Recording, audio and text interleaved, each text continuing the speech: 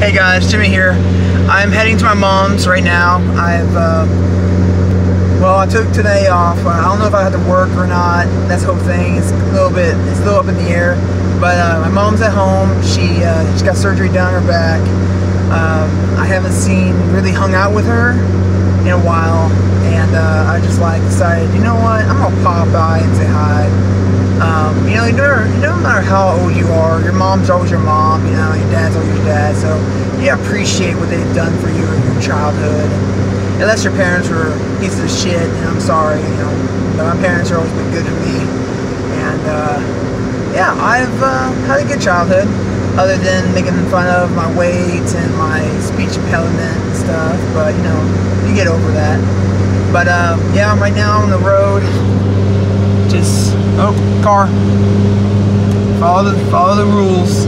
But uh now I see I'm not I'm not driving anybody right now. So uh so I'm just sitting here um Ashley's uh, her mom she's not feeling very good. She's kind of sick.